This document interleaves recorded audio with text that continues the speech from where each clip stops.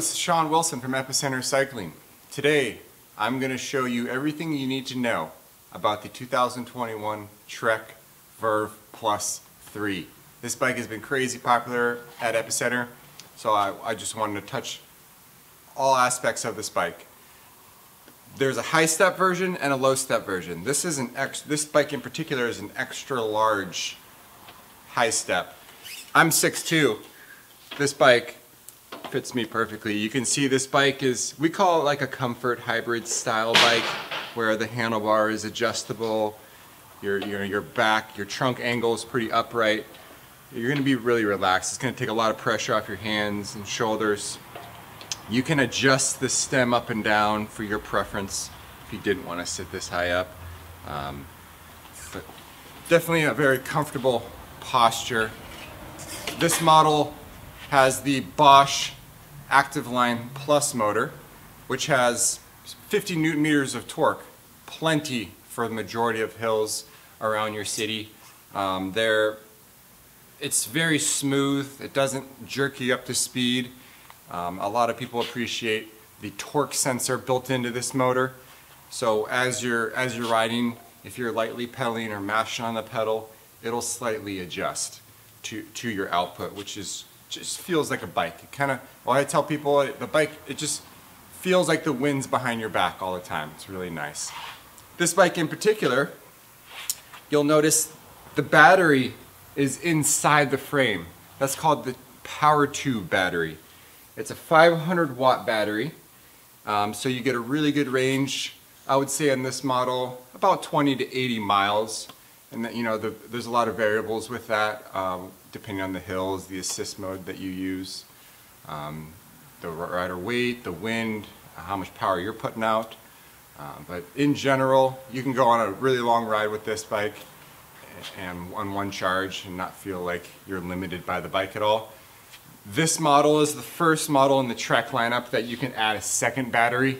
So these mounts right here allow for that.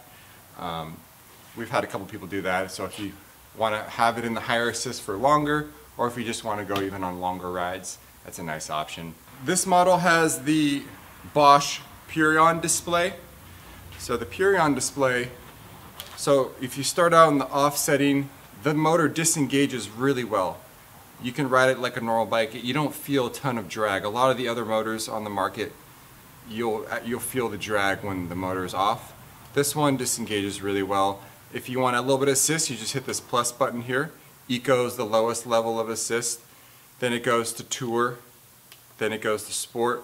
Turbo is the highest. Now Eco adds about 40% of, of maximum support.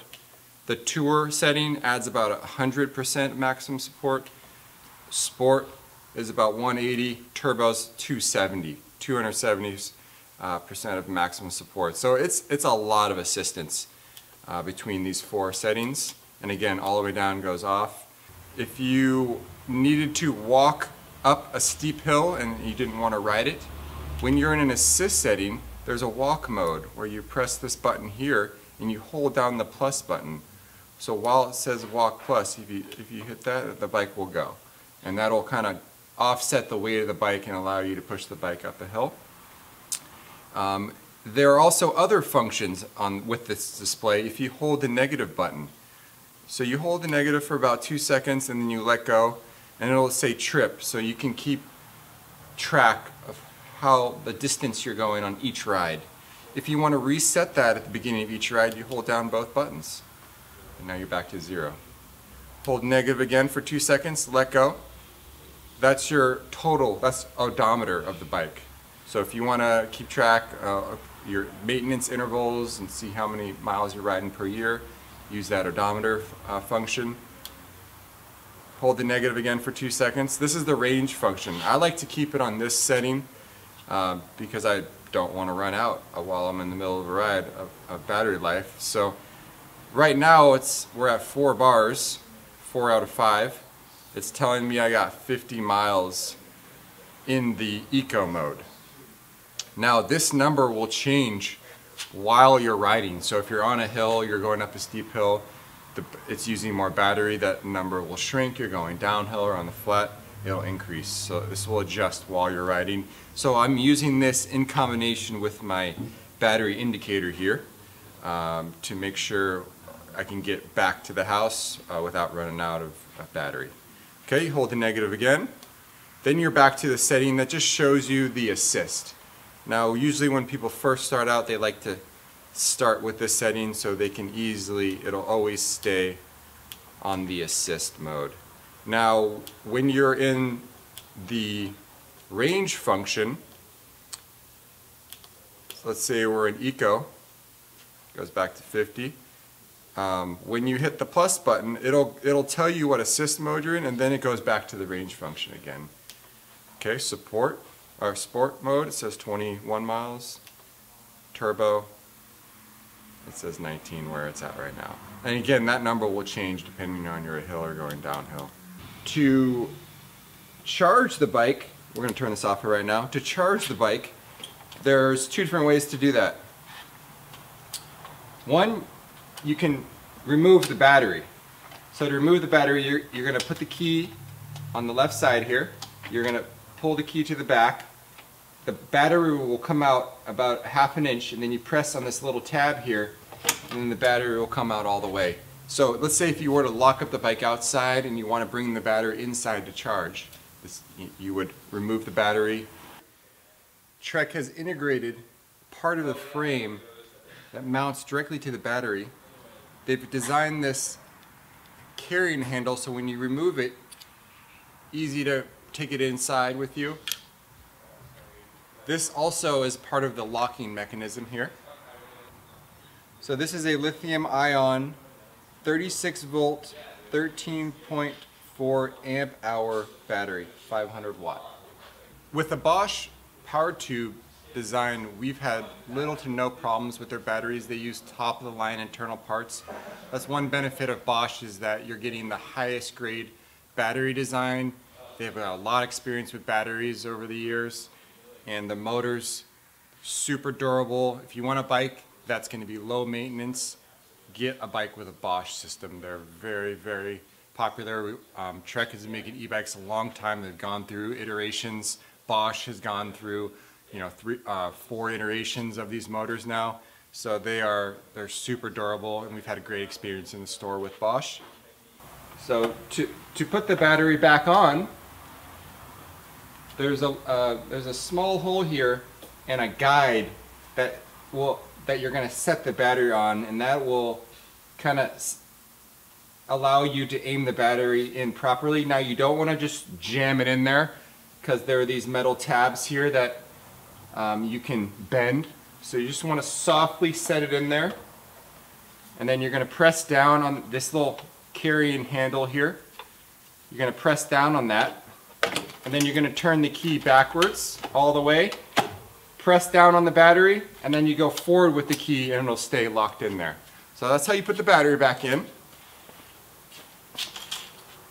Now if you don't want to take remove the battery to charge it, there is a port on the, on the left side of the bike and you can plug directly into the bike right there. So that's nice and easy. So usually when I'm talking to customers about the assist, I also review the gears. Now, uh, we, I told you a little bit how that it's sensing your torque. You also want to be aware of your cadence. So your shifter over here, this is nine speeds on the Verve Plus 3. There's two different levers. This lever is going to shift to a lower gear. The lever behind it is going to shift to a higher gear.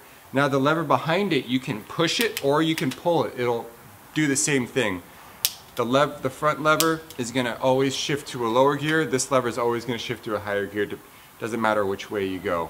So that's kind of nice. If you want to keep your finger on the brakes at all times, you can do push-push. Or if you are used to push-pull, you can do that. These, um, so regarding the 9-speed drivetrain, it's important that you have a really smooth cadence. If you're pedaling very slowly, the motor is not going to assist how it's designed. You want to be in the right gear to be moving your pedals nice and quick, really smooth pedaling, just as a normal bike is designed. Nine speeds is plenty for an e-bike. It's super smooth. This Alivio derailleur is has been out for over 15, 20 years now. Um, it's very durable. Um, we very little problems with this derailleur, so this is a bomb-proof design. So that's the shifting. Uh, regarding the brake system, these Shimano hydraulic brakes are super powerful. They are um, they use mineral oil. It's very low maintenance. You do have to pay attention to the pad wear. Now, if you come in Epicenter when we, we do the tune-ups, we'll, the mechanic will get their eyes on the bike and recommend it. But if you're riding a ton, you might want to visually look at the brake pad yourself and make sure there's some meat on the pad so you don't go all the way down to the metal. Once you go down to the metal, you can, you can easily ruin the disc brake rotor and you don't want to do that. Um, other things to be aware of would be you do not want to touch the rotors or get any oil on there. So when you're applying the chain lube, you want to be careful that you're, you're not spraying chain lubricant all over the place. Some people get a little excited with the chain lube and uh, they end up contaminating the brakes. So you got to be really careful with that. If you look at really closely, there's kind of two different ways you can look at the brake pad where if you visually look straight down, you can see that there's about uh, maybe a maybe an eighth of the brake pad sticking out of the caliper at the bottom here. So as that gets close to the, the metal backing, that's when you want to come and have us replace the brake pads. Now the rear always wears out before the front. So definitely keep an eye on the rear. Most people use the rear brake more. That's why it's going to wear faster. Now transporting this bike, this is a 54 pound bike. You don't feel the weight at all when you ride. Actually, it adds a lot of stability. Um, when you have the assist, you don't feel the weight at all. Now when it's off, you're gonna be pushing a bike that's a little heavier. The motor disengages so well, it's, it's, it actually rides really nice. Um, but let's say if you were to lift the bike up in your car when you're transporting it, that's a good time for you to remove the battery, okay? Um, that'll probably save between six and eight pounds. Um, those batteries are pretty heavy. So yeah, remove that battery. Um, but this is a really light aluminum frame. Trek specs this bike with really light components. So um, for a $3,000 e-bike, 500 watt battery, 54 pounds is it's actually really good. Doesn't feel sluggish at all when you're riding. now this bike has a suspension C-post. When you're sitting really upright, most your body weight's on the seat, less weight on your hands. So you don't need front suspension when you're sitting upright either. So what they do is they put suspension in the C-post. You can see there's just this little bit. That's all it is. And that little bit really does take the edge off the bumps when you're at speed. Now there's another C-post that you can upgrade to called the Cane Creek Thudbuster. A lot of customers do that if you've got really rough roads or if you want to do a little bit more gravel riding. We can change that out. They have a 40, I think a 40 millimeter and a 70 millimeter version. Um, but this surprisingly, it doesn't look like it does much, but it helps a ton on the trail, not, or on the, on the pavement. Also the tire width. These tires, the Bontrager E6 tire, this is a 700 by 50 C tire. So 50 is a, a nice size to, to the, where you have enough volume that you can really decrease the air pressure if you want a smoother ride. Now these tires are rated for 30 to 60 psi and generally that you will adjust that depending on your weight or, and how smooth you want. Um, but in, I would say on average, if you run around 40 to 50 psi um, in the front tire and maybe a little bit more in the rear, um, you'll be good. If you're a lighter rider, yeah, bring it down to 30 and it'll be a lot smoother. So this bike has an adjustable stem. You can easily adjust it. Six millimeter Allen wrench. Loosen it here. You'll feel there's specific notches as you adjust the stem. If you loosen the bolt, you can go all vertical. I usually don't recommend to go this extreme because it affects your steering all the way down. Most people are going to kind of run it between here and here, but if you need to go here, try it out. Now when you adjust the stem, let's say if you were to go to this extreme, now the handlebar is at a different angle. So then you loosen these four bolts here, and then you can reposition the handlebar. You have to pay attention to the handle, the, there's markings on the handlebar so you can keep it centered. And so as you adjust it, you'll feel it kind of fall into a notch. You can see I'm kind of wiggling side to side so I can feel that it's into that notch. And then we're going to torque it down. It does say a torque setting here, 22 newton meters if you have a torque wrench. To get it snug for right now. You want to pay attention to the angle of the grips so it's supporting your wrist but it's not forcing your wrist to come be up or down. It's just nice and comfortable. Generally we adjust hand, the, the brakes so when you're sitting on the bike your arms can be straight and relaxed and it's not forcing your wrist up and down. So that's usually really comfortable. Now if you're in between those notches, the stem can come loose. If that happens, try to find that sweet spot and then uh, tighten it again. Alrighty, so this bike comes with the MIK rack system. So there are accessories that are designed to lock in to the top of this rack. This gray button here, you press this in and it'll pop this in and out. There's a tool that makes it easier to access if you're trying to get them back here. Um, but this is the Bontrager MIK utility trunk bag. So if you just want to throw some items in there. Uh, there's also basket that pops in the top. Take it off and go in the farmer's market or go in the store. So that's another option here. Bontrager makes the city shopping bag.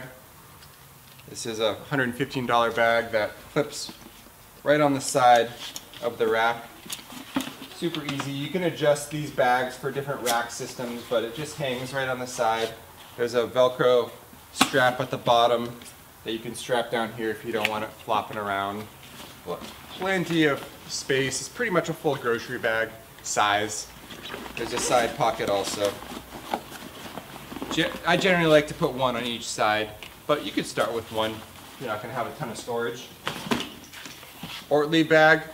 We sell a ton of these. This is like a full dry bag. This has this quick release design. You just pull up on the tab here.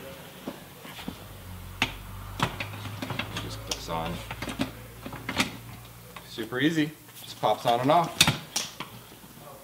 Ton of storage. These expand out. Nice size. Again, uh, these usually come as a pair. They do sell a couple versions that are reflective, that are individual. Alrighty, so maintaining the Trek Verve Plus 3. At home, there's a few things you're going to need. Floor pump, you're to top off the tires once a week. Chain lubricant. You're going to clean and lube the chain every 100, 150 miles of riding. So this is a, a Bontrager dual charger pump Again, these tires are 30 to 60 PSI. This is a 700 by 50 C tire. So if you ever get a tube, that's the size you're going to need to uh, talk about to get a tube for this bike. This is a Schrader valve. You're going to put the pump directly on the valve and then you pull up and then the pump will tell you it has a nice gauge here. It's going to tell you how much PSI is in there right now. It's 40. This pump you can change between high volume and high pressure. So I'll go to high pressure, about 40, and it's nice and easy. All right, so we're going to go up to 50 PSI here. Okay, and then we're going to release this lever down. Now sometimes when you release this, you start hearing air come out.